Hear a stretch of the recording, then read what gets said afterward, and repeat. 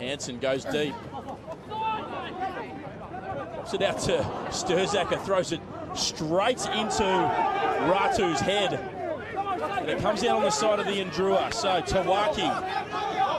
That's Stirzaker. Watch this. Boom. you heard it from here. It was like someone spiking a volleyball.